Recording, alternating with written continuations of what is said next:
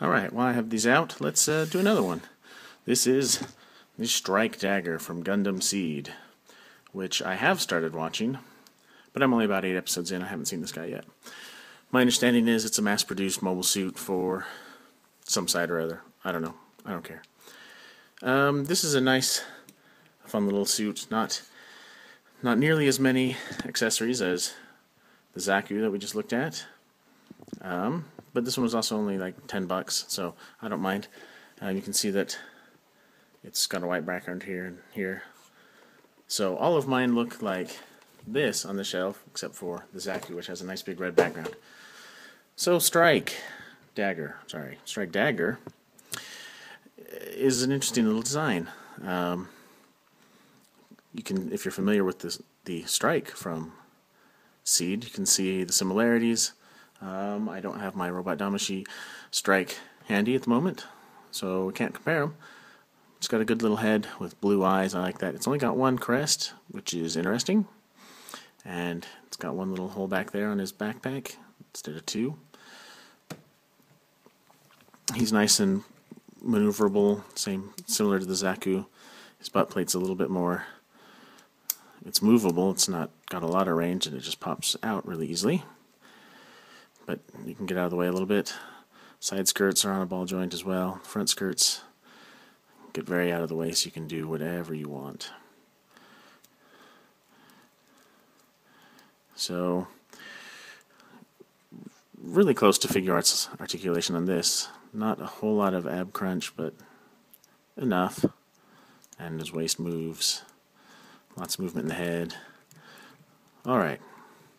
Um, Something I didn't do on the Zaku review that I should have done. That's why I will do it here as soon as I can get this guy to stand up straight. So he's as tall as he can be. Is let's put him next to a Figuarts, because I collect a lot of those. This is one of my most recent ones. So unfortunately, the robot Damashiis are tiny. Um, I wish they were bigger. That's my only main complaint with the line in general is I wish they were bigger. They're not all in scale with each other like the high grades high grade kits are. Um, although I guess some of them are close, but oh well. I wish they were bigger, like closer to six inches or eight inches, even like a master grade. Here's his accessories. He's got a little adapter dealy with a ball joint and a shield. I like the shield design. It's cool. Um, ball joint plugs into there. Click. And then plugs into that little slot. And now he's got a shield. He's got a beam saber blade, which is nice and yellow, and a beam saber hilt, which plugs into that one little hole back here. Um, he's got two fists for punching things, which pop on and off very nicely. He's got two trigger hands and two beam saber holding hands. Oh, look, I put that on the other hand. Because I had him Get it out this way. Click.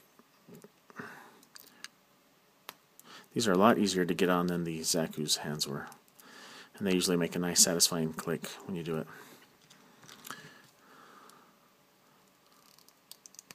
Click. It looks like he can reach back and grab his beam saber, so that's cool. This butt plate does fall off a lot.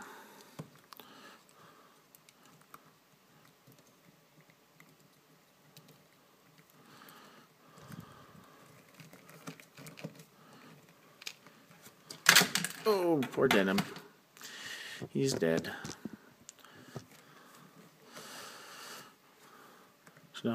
Bring.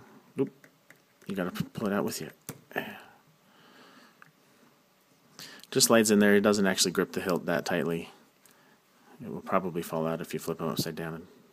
Maybe not. Beam saber blade just goes in like that, and bam. That's all there is to this guy. He's not got a lot of accessories.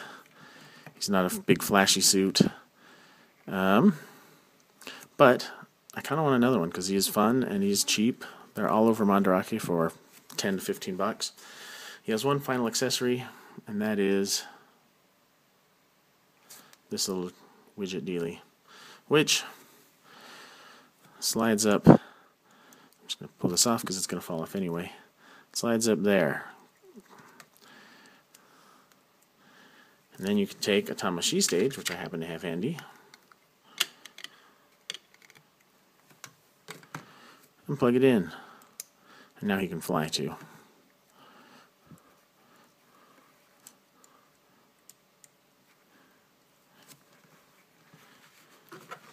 So that is that. Like I said, fun little guy, not too expensive. Um, it's still a good a good example of the articulation of the line, if not the ones that have a plethora of uh, uh, accessories. A shield, a gun, a beam saber, and three total pairs of hands. It's not a lot, but for cheap, it was worth it. So, thanks for watching.